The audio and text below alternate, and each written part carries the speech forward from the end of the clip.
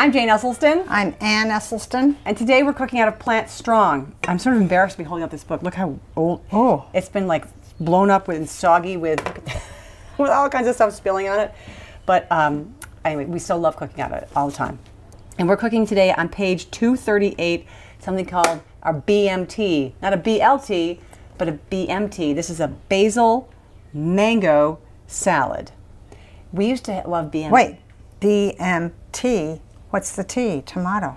Yeah, basil. Sorry, basil mango tomato salad. And so we're going to just get going on all the basil, mango, and tomato. Um, We, we got hope- big mangoes. I know, and I hope they're good. They feel good. Mangoes, if you don't know, um, they're when they give a little. Oh, here's our fresh basil, hot and fresh from the garden. Perfect, thank you. Um, they, give a little bit like a Good. good avocado. Are they good? Good. Yay! So I know we've talked about cutting mangoes a lot, but we cut them like how my mom always described it. They, they have like two cheeks, a cheek here and a cheek here, and there's a the, the pit or the seed, I guess it's called the pit. In the middle, it's like a tongue-shaped thing. So it's like a mm, tongue-shaped thing in the middle. But we take off one cheek, and then we score it around. I, or I go around like a tennis racket, and then just vertically and horizontally, and then can you see, see her top camera? Can you see her just pouring it out of there? I'm doing my cubes a little smaller than you, but really? You want mine smaller? no, I, I just, I just, my tennis racket pattern was a little bit skinnier or whatever, little, littler, more, more. Um, Now Jane Diced. in, inverted hers, which is cool to do, but I find it so nice to take the tovolo and just get it out. Well, I'm also kind of cutting mine in half along the way. You just plop them in, which is a big, big juicy bite. I wanted to cut, sort of like mow the lawn twice there. Go over it twice. All right, so yours, yours is actually juicier. Mine's a little, mine's good and juicy, but it's not as yellow. Maybe your yellowness makes it look richer. So there's a left cheek and a right cheek to each mango. So there's, and we have big ones. Um, when if you get the little, uh, what are the little ones called? The Champagne? Champagne maker or Ald- Alduf, Aldofo? I can't say it. At this time of year, those they're just wonderful. So the and these are. I should look at the sticker to see what kind it is. Oh, I cut the sti- cut the sticker in half. Um, look at that beautiful little porcupine. Uh, but these are good. The green ones. Are they Keitt Keitt Keitt mango? I, I should know. I'm embarrassed. I don't know my different kinds of mangoes. We're getting good at di- learning different kinds of melons these And then- days. And then you can use, you get a whole lot out of the, Yeah, around the pit there's a there's a good serving. oh my gosh, this is a lot. Oh, you got some Jane. skin in there. That's not, that's going to be tough to. Are you eating the skin? Yeah, Some people get a little like a. The skin can have a poison ivy type property with some people on their lips. if it goes to, So I want to get sure that off in case one of us has that. Look at this. There's so much yummy, juicy mango meat. The fun thing is to just suck on this when um, the pit. you're not being photographed. Well, maybe we should show them what, what it means.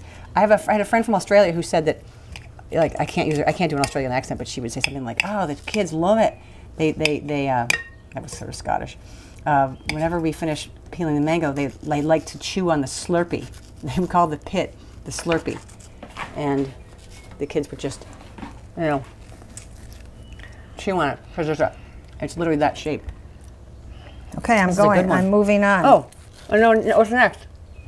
Mmm, that's really good.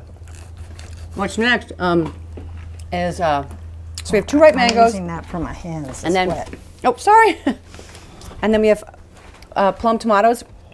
We're gonna cut these into small diced, um, and uh, about four of these.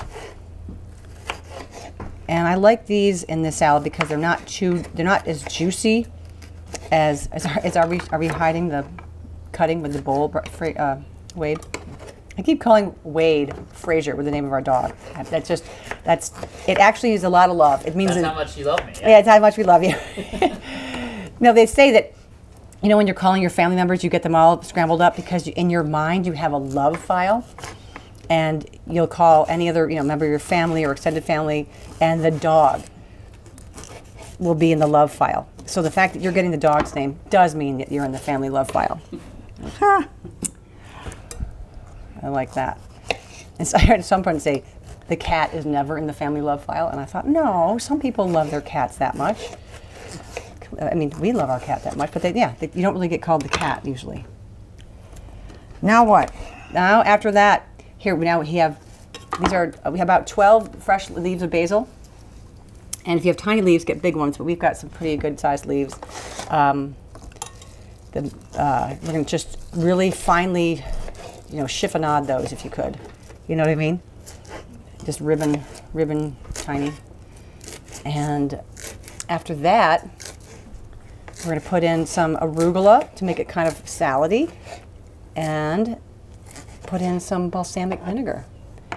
And the juicy mango, the juicy tomatoes, the flavorful Woo! The color in the there. Flavorful to, the flavorful basil and let's get rid of some of this all of our compost um, okay so arugula i'm going to do a few handfuls and just kind of toss it all in. And then uh, can you do you have your balsamic vinegar? Can you get your balsamic vinegar? We had it out earlier. Where did it go? Could you give me need a few tablespoons of that. Where are my claws? How many? um, You need you need a, a, a different bowl. Well you know what we're, we're, we're already we're, we've committed to this bowl so we're just going to we're to stay committed Shall I put some in? Yeah, we're gonna do about two, three tablespoons, or as much as we kind of like. Toss it around. And the acid with the sweet and the basil and the ar- arugula. Oh gosh, this is just making my my vessels dilate. You think it needs a little more? This is the basic four leaf uh, made by the Olive Tap, which What- is yeah, other one of flavors our might be good, like a blackberry. What would be good in here? What would be good in there? Let's give this. Let's let's let's, Hmm. get, let's try some. Wade, we're gonna have you try some. Kyle, we're gonna have you try some. Let's- okay. Or, Kyle, all right. Actually, Mix it up. I did. I, again, I just put more on. Okay, well, someone's going to get a heaping lot of it then. Oh, look at that. It, I should have gotten bigger bowls. Okay, we should use bigger bowls, larger bowls. Um, here, why don't you and I try one? Wade, you have a taste. I'm spilling this all over This the place. is This is my taste. Spilled salad. Mmm. Mmm. But such a nice combination It's just like of beautiful summer. things. It's Summer. really good. Yeah. And a bite.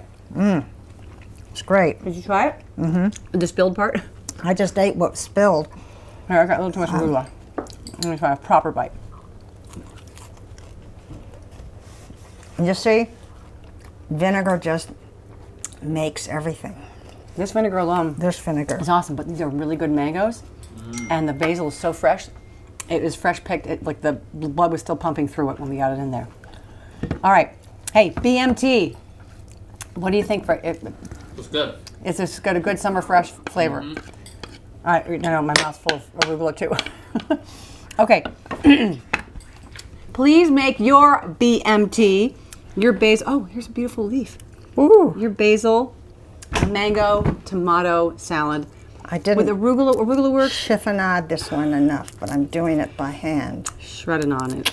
All right. Hey, thanks so much. Enjoy. Bye. Bye.